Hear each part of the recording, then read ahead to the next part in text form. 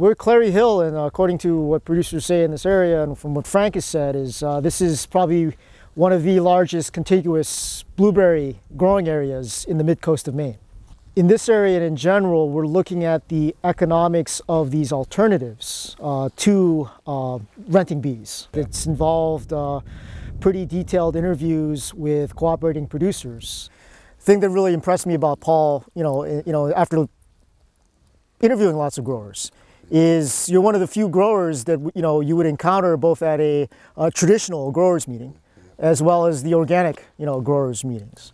Through work that Frank Drummond did and Connie Stubbs, we took in, became more aware of other things such as the leafcutter bee. Quite a bit of work's been done with that. Mm -hmm. uh, bumblebees becoming available as a commercial option mm-hmm. is a fairly new industry and over the last 20 30 years they've made great improvements in the box they have and in having a consistent quality mm-hmm. when you, when you purchase them um, and then again through our blueberry meetings uh, everyone is much more aware of our native pollinators that we have in our fields. Now that we have herbicides, our fields are much cleaner, so we don't have much of a food supply for natural pollinators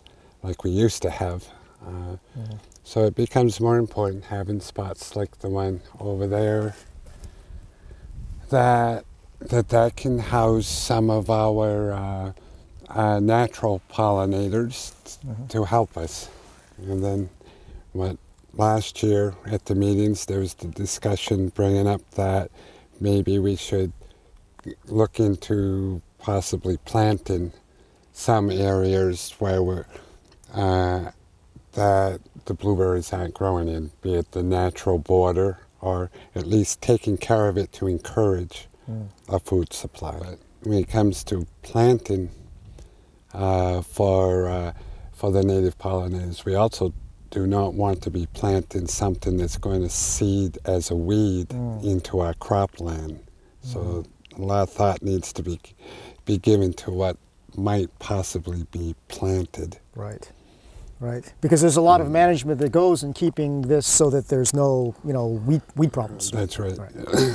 and, and weeds really uh, decrease our yield. So right we need to keep the weeds out. Right. And but on the other hand, we need spots where we can can grow uh, uh, non-invasive right. plants for the native pollinators. In our state, we have a very active uh, backyard beekeepers, mm. hobbyists, and there's a lot of support. We have a lot of good resources for those people, but for people like myself, I don't have the time. right. To be doing my own bees. The environment in Maine where you're going to keep the bees here year round is very challenging, mm. even for the hobbyists, and, mm. and they usually have a, uh, a very high fatality rate mm. each year. So I, for most people like me, it's probably not feasible to to get into doing bees. Right. Especially when we can rent them. Right. so a hive yeah. that comes to us from Florida, they've already uh, built up the strength of the hive. So when they mm. arrive here, they're, they're ready to work. There's a full workforce. Whereas the, uh, the hobbyist hive, when we go into blueberry blossom, they're just starting to build up the hive. So there's not uh, very many workers available in the beginning. By the time the local hive builds up the strength of bees within it, our blueberry blossom is over with. Right. Next thing you had talked about was uh, rented bumblebees yes. uh, uh in quads. Yes. All right.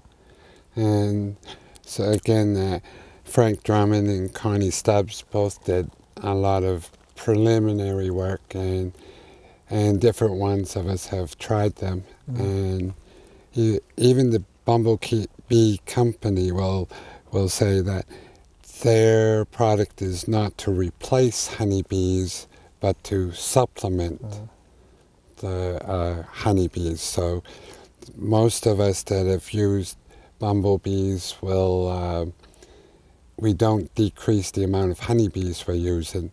We will just add some bumblebees. Uh, there's different uh, foraging habits between the bumblebee and, and, and the honeybee. So sometimes when it's in the 50s, which it quite often is here, um, the bumblebees will be more active than the honeybees.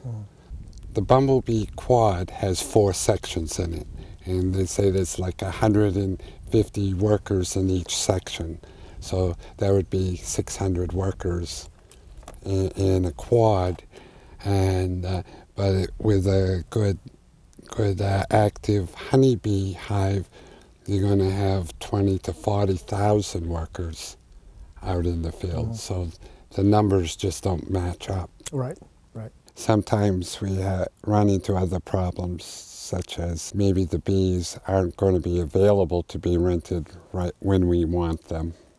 And so if we got native pollinators in the field, they may do the early pollination if the honeybees are three or four days later than we want them here. With a lot of these alternatives, it's a way to kind of buffer that risk. That's correct. On the grower side, we really depend on the extension mm. to really to, to do the research and then to come back and and show us the results. Many people are very interested, but they they need a, more information so they can mm-hmm. make their own decisions as to if it's a feasible thing for them to do. Mm-hmm. So we're doing a pretty in-depth analysis of evaluating these uh, budgets for these alternatives. And we'll be, we're also surveying growers to develop uh, relative, pretty detailed budgets on blueberries themselves. So organic blueberries, and then for traditional blueberries, uh, low input, medium input, and high input uh, growers. And once we've evaluated the economics of the blueberry uh, budgets, we'll be integrating them with taking on these various uh, uh, alternatives, such as creating more pasture strips. So we can evaluate the whole farm economics of growing blueberries in concert with utilizing these various uh, uh, alternatives, such as pasture strips for native bees. I think uh, probably in the case of blueberries, the question would be how can growers make long-term strategic investments in diversifying their uh, pollinator uh, sources? So, you know, enhancing their native bee population to greater knowledge of what's out there and how they could, you know, best do that for their situation. You know, as well as potentially exploring alternatives such as renting bumblebee quads, uh, as well as perhaps keeping uh, their own bees. So I think it's probably not a one size fit all fits all, but it's wise for growers to uh, explore alternatives because if hive prices double or triple, um, you know, you want to be ready and have at least explored those alternatives.